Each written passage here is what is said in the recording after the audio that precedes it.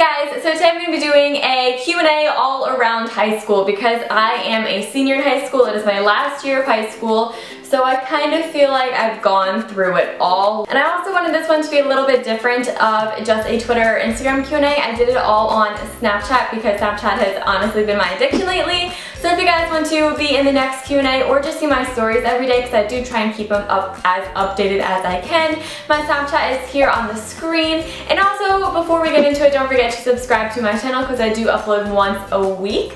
But without further ado, let's get into it.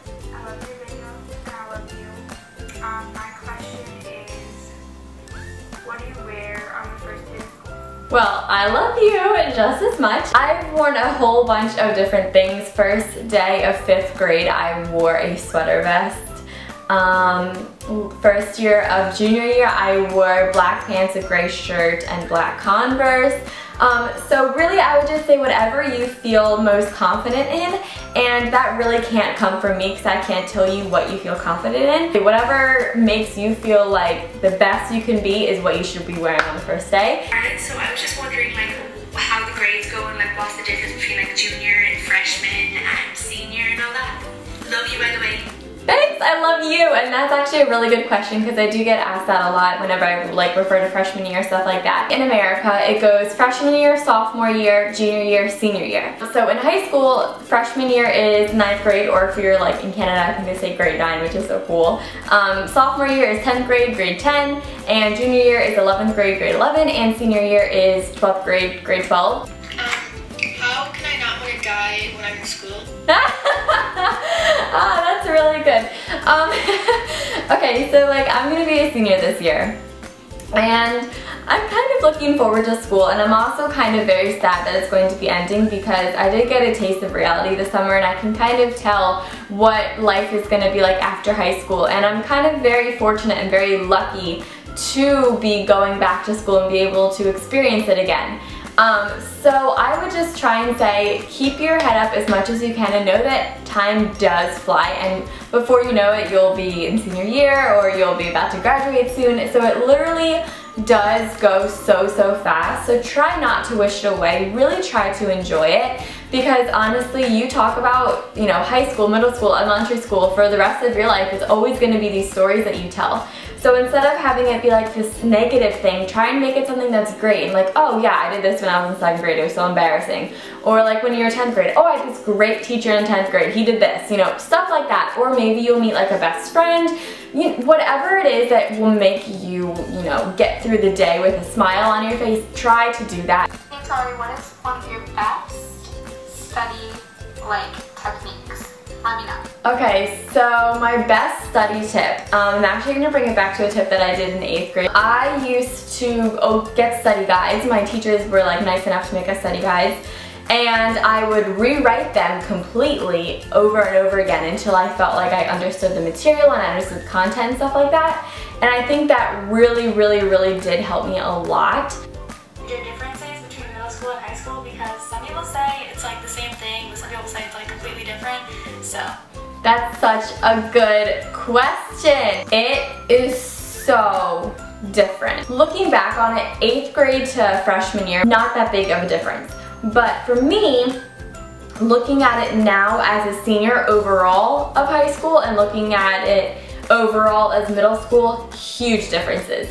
First off, when you are in middle school, you're super insecure. You're kind of just figuring things out. You don't really you don't really know that much of yourself. You're learning a lot about yourself in middle school. You're going through puberty, like a lot of stuff is just going on when you're in middle school. Plus you're adjusting to, you know, getting older, but you're also stuck right in that awkward phase. In high school, you do kind of get a better sense of yourself, but you go through much more mature things. It's just a different type of transition in your mind, in your body, stuff like that that you just don't really know of in middle school until you get to high school. When it comes to like academics and stuff like that, every middle school is gonna say, oh, in high school they won't do this.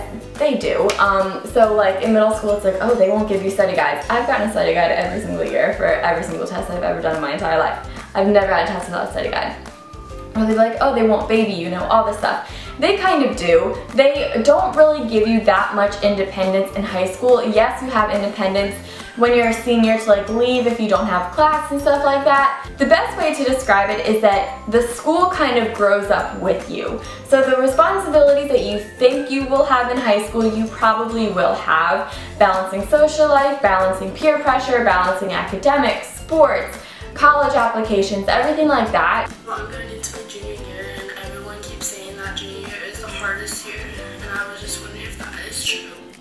Junior year is the hardest year because it sucks. It sucks as a year because, um, you know, you're just looking at the seniors like, hmm, almost there, but not yet. You get to see them graduate. You get to see them being praised. Like, oh, they just boil, boil your blood when you're a junior. That's the only reason why junior year is the worst because it just like the whole jealousy thing between like oh you're a senior you're doing all this stuff and I'm a junior I get to watch you do it but I will say, everyone says, you know, grades are most important junior year. But I also will say this, my grades were the worst junior year because junior year is hard because it always has this amount of pressure on you. And you know, by junior year, you're kind of getting burnt out. And it sucks because that's A, the most important year. But honestly, it's not the most important year. What's important is your GPA. So what you have to do is you have to keep up your GPA. And then you want to keep your grades up in senior year. There's like a hair on my nose. Because when you're applying to colleges, colleges aren't going to look at what you got in English of freshman year. They don't care about that. They care about your GPA. So if your GPA plummeted in junior year, yeah, that kind of sucks because you have to apply to colleges with that GPA now, but they also look a lot at your senior year and see how are you doing this year? I know you're applying to colleges, but are you slacking off? Do you not think school is important anymore? So even though junior year is super important, it's only important because you have to maintain the GPA that you just created for yourself the two years prior to junior year. What was your favorite class that you took in high school? Oh, this one is so easy. My favorite class I took in high school was broadcasting. I hope my broadcasting teacher is watching this. Hey, Merge. What was the most difficult year of high school? And I love you in your videos. Oh, thank you. My most difficult year of high school, I would say ninth grade, just because I was going through a lot in ninth grade. Um, the end of eighth grade, summer going into ninth grade, and the halfway, like halfway through ninth grade, I was really going through a lot. And um, the only way that I could ever get through it was through my YouTube videos, but I still look back on those videos. I was such a sad person during that time. Um, I guess I'll, I don't know if I really want to touch on it that much. I was like borderline depressed and I really didn't have any reason to be depressed. It's sort of just a thing that I went through as I was growing up. Um, I just had I just had a year where I was just very sad all the time and I was really depressed and I was scared that one day if things ever got so bad what I would do and I was just a very upsetting, depressing time. I was very scared during it. I didn't know what would happen. I didn't like going to school. It just seemed that wherever I went, I was just sad all the time. It just followed me everywhere. But I will just say that was just a part of growing up and looking back on it now, I'm very, very happy that I went through that phase because now I do appreciate things a lot more in my life and I'm very happy. That's the hardest year just because I was going through something that I never experienced before. But just know that there is always light at the end of the tunnel.